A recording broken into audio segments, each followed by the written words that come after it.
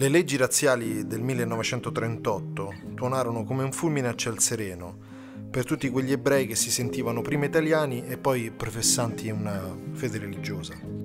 Giovanni Cecini, nel suo articolo su Rivista Militare, ci racconta la storia di un ufficiale travolto dalle leggi razziali. Giorgio Morpurgo nacque a Roma il 31 ottobre del 1892, figlio di un patriota di origine trestina All'età di 13 anni entrò nel collegio militare di Palazzo Salviati per passare poi nel 13 alla scuola militare di Modena.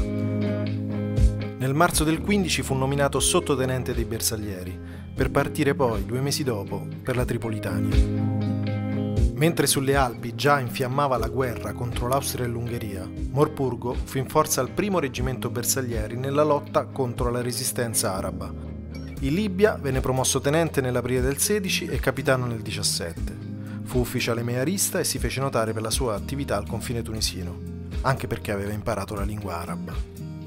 All'inizio dell'ultimo anno della Prima Guerra Mondiale fu rimpatriato per raggiungere il fronte di guerra.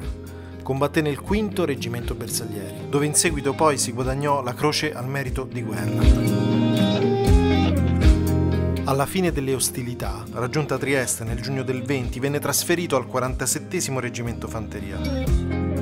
Lì però, nonostante la destinazione, cominciò a prestare servizio all'ufficio informazioni del Comando Generale delle Truppe della Venezia Giulia. Iniziava così il suo percorso nell'intelligence che caratterizzò tutta la sua vita successiva.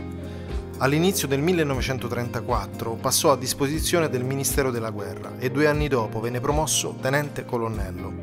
A quel punto la sua grandissima competenza nell'intelligence lo catapultò nell'esperienza spagnola come componente di coordinamento del Corpo Truppe Volontarie, il CTV. La sua opera lì venne talmente apprezzata che dal marzo del 37 fino all'aprile del 38 addirittura gli furono insegnite tre medaglie di bronzo. Questi episodi dimostrarono non solo la sua profonda conoscenza delle dinamiche operative, ma anche un accentuato coraggio e sangue freddo.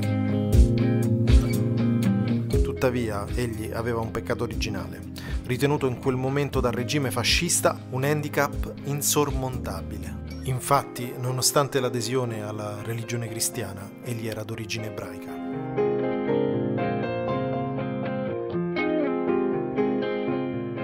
Fu così che il 23 dicembre, all'indomani della promulgazione del decreto legge sull'espulsione dei militari israeliti, egli fu informato del suo congedo e rimpatrio immediato.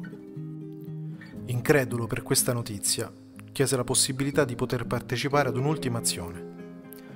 Morpurgo colse questa occasione per chiudere senza polemiche, ma solo con un atto eroico la sua ancora giovane vita per il suo alto senso del dovere, la sua indignazione, la sua delusione, il suo dolore non potevano assumere altra forma che quella del rifiuto, drastico ma silenzioso, che non facesse scandalo. Dopo aver passato le consegne del comando di Stato Maggiore, chiese di partecipare a una missione della divisione Littorio, a Sarroca. Al mattino, prima che la sortita avesse inizio, quando ancora l'artiglieria tirava contro le posizioni nemiche, uscì da solo, allo scoperto superò i reticolati e si diresse verso le posizioni nemiche, procedendo lento e ignorando le urla dei suoi commilitoni che volevano fermarlo. Moriva così uno degli ufficiali più brillanti della sua epoca, che rappresentava poi quel gruppo di comandanti che avrebbero costituito la seconda schiera nei confronti dei vecchi generali di cui Mussolini in fondo nemmeno si fidava. Il suo cadavere crivellato dai colpi, verrà trovato solo dopo la battaglia, aggrappato ai reticolati che aveva cercato di strappare. Un'esplosione lo aveva completamente denudato. Nascondendo la deliberata ricerca della propria morte, il regime mise Morpurgo sugli altari e gli concesse la medaglia d'oro al valor militare, alla memoria, e una nuova croce di guerra. Oggi, in ricordo di Giorgio Morpurgo, nel quartiere romano trionfale Medaglie d'Oro è presente una strada a lui dedicata.